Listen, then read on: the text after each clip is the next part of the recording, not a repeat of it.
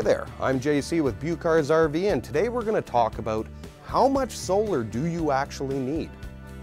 It's very, very common that we'll have people come in here and say, how much power do I need to run my microwave? Well, unfortunately, that calculation's a little bit trickier than most people want to get into. So we try and break it down a little bit more simple here. When we talk about solar, the first thing we're going to ask you is, how many batteries do you have and how long can you dry camp on those batteries? So your average RV would have a 27 series battery.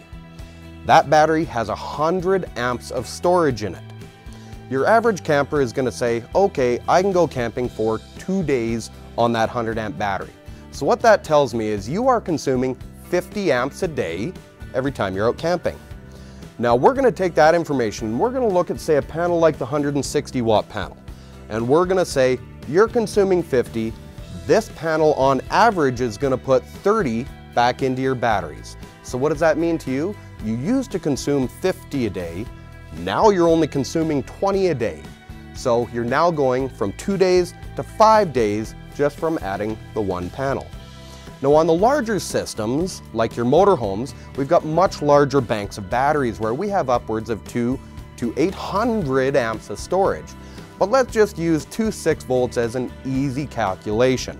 The two 6 volt batteries have on average about 200 amps of storage. A large fifth wheel or motorhome is going to consume those batteries in approximately two days.